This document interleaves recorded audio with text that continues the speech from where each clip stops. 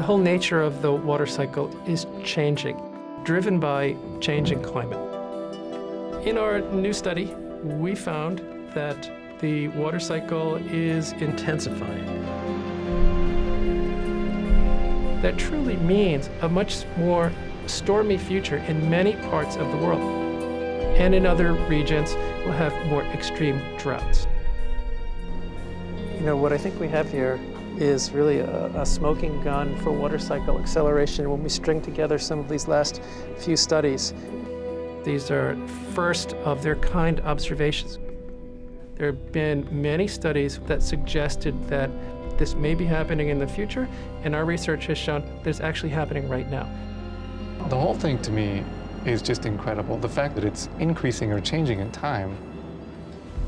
Will the water cycle spin out of control it's hard in the United States to fathom the scope of the potential change, and the, and the scope is huge.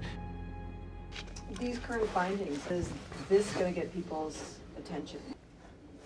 I don't think so.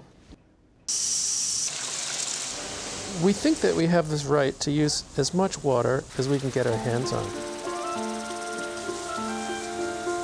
There are many things that my neighbors do that drive me crazy, and uh, one of the, the biggest is, is overwatering the yard.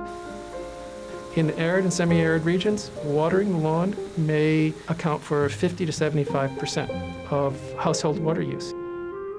We're talking about three times the volume of lake mead just to water the grass every year.